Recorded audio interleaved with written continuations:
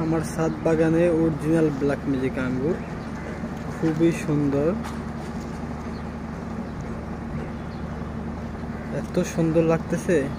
ফলের কালারগুলো মাসাল্লাহ খুবই বড় বড় হয়েছে এবং কালো জামের মতো হয়েছে। প্রচুর মিষ্টি।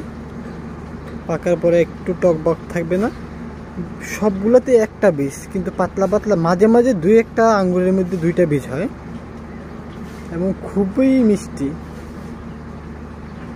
দেখেন, কালারটা দেখেন, এত সুন্দর এই যে জামের মতো। পিছন দিয়ে চোকা চোকা জামের মতো। আজকে হচ্ছে একত্রিশ তারিখ, মে মাসের। এখন হচ্ছে একটা পনেরো বাজে দুপুর। আমি অবাক হচ্ছি, এত সুন্দর কালার হচ্ছে। একেবারে ইটালিতে যেরকম ফলের কালার হয়, সেম ওইরকম কালার হয়েছে।